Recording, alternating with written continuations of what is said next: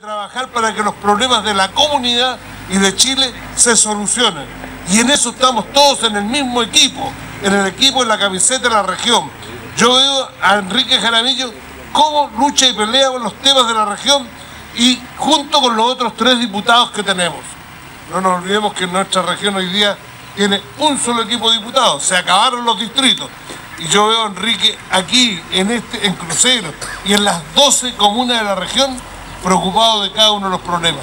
Eso es lo que nos tiene que unir, buscar soluciones a la comunidad, importándonos nada de qué color político son los que piden las cosas, porque los que se benefician son los hijos e hijas de nuestro pueblo. Muchas gracias.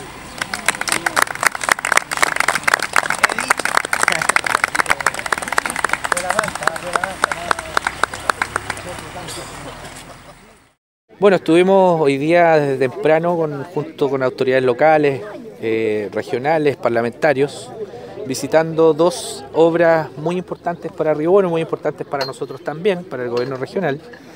El Estadio Crucero, que tiene un, porcentaje de avance importante, es casi un 60% de una infraestructura deportiva que va a, contribuir mucho a generar equidad entre los deportistas de la región y esta obra, que es una obra que asumimos el compromiso de impulsarla, empujarla en mayo del 2014, tuvimos algunos tropiezos entre medio, pero aquí estamos ya eh, con un 3% de avance, con una primera piedra.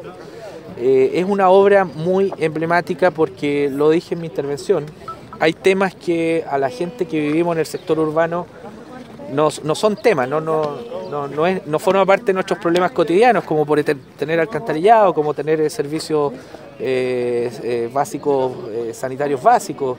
Pero acá en el campo sí un tema, y el tema más sentido de crucero cuando pasé la primera vez acá era el alcantarillado.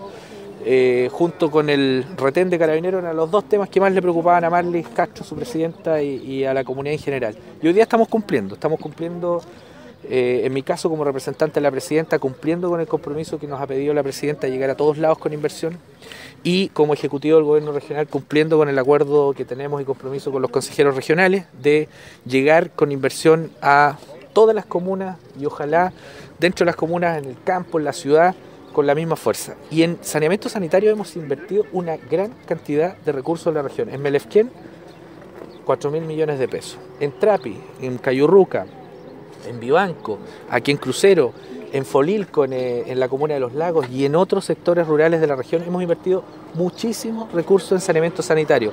Estamos, insisto, cumpliendo el compromiso de la presidenta, yo como representante, como ejecutivo del gobierno regional de la región, cumpliendo el acuerdo que tenemos con los consejeros de llegar a todos lados. Por tanto, esta obra representa eso, ese espíritu, esa concreción y esos sueños de la gente del campo.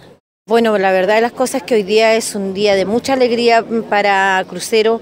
Hemos obtenido algo que se había luchado durante muchos años y que poco a poco se fue generando y aportando, digamos, las autoridades. Hoy día tenemos que agradecer a las autoridades comunales, regionales, en todo lo que ellos hicieron y por lo que se luchó y se logró. Hoy día no nos resta más que decir que muchas gracias y a la vez haber también hecho alcance de una necesidad y una prioridad que hay hoy en día, que es el cuartel de bomberos de crucero. Hemos escuchado las palabras del señor intendente, donde eh, ha, habido un compromiso dentro de sus posibilidades y creo que eso ha sido gratificante y resaltante en todo lo que se genera. Por eso, nada más que decir, solo muchas gracias y que Dios les bendiga.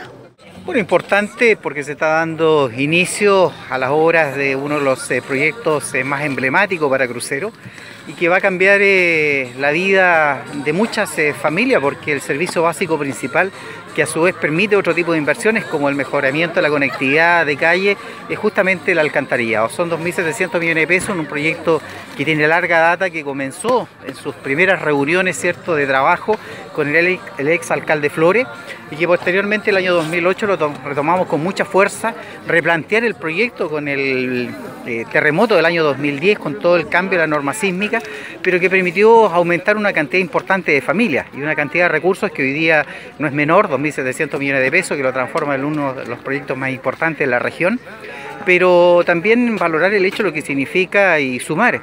Eh, entendiendo y comprendiendo las palabras, hoy día como representante de la presidenta Bachelet, aquí hubo un trabajo importantísimo, también durante el gobierno de Sebastián Piñera, en donde trabajamos fuertemente con el gobernador de la época, hoy consejero regional Eduardo Gel, en donde sin duda eh, permitió avanzar muchísimo, no solo en este proyecto, sino en mucha la cartera de proyectos que hoy día estamos eh, financiando y que estamos entregando a la comunidad. Eso hoy día nos llena de orgullo, de alegría, porque es un proyecto que se suma a muchos otros que tenemos eh, planificados para crucero y que bordean sobre los 7 mil millones de pesos, lo cual indudablemente de aquí a cinco años más vamos a tener una mini ciudad que va a estar dotada de todos los servicios básicos, incluso en términos de seguridad, educación y salud. Por lo tanto, es un momento importante, es un momento importante. Agradecemos la presencia no solo de ustedes como medio de comunicación, sino también de las autoridades, señor intendente, de los eh, diferentes eh, consejeros regionales. Saludar a nuestra presidenta Marlis Castro, que también está realizando un gran trabajo. Es un momento de alegría para Crucero, que duda acá y por eso también estamos muy contentos.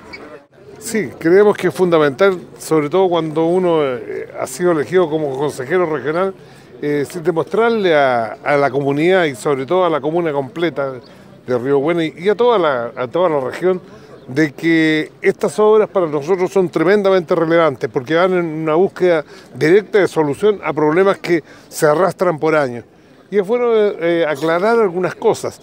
Los fondos que entrega, que de acuerdo a, la ley se le entregan a cada uno de los consejos regionales del país, eh, si son bien distribuidos como lo hemos hecho nosotros, se empiezan a lucir y se empiezan a notar las obras. Esta no es una, no es una tarea del gobierno central, sino que es de los gobiernos regionales. Por eso luchamos para que haya mayor regionalización, que cada una de las comunas y cada una de las, de las provincias, cada una de las regiones se sienta capacitada para poder decir dónde y en qué lugar se van a hacer las inversiones y que no sea el nivel central el que nos venga a decir cuáles son los problemas que tenemos que resolver.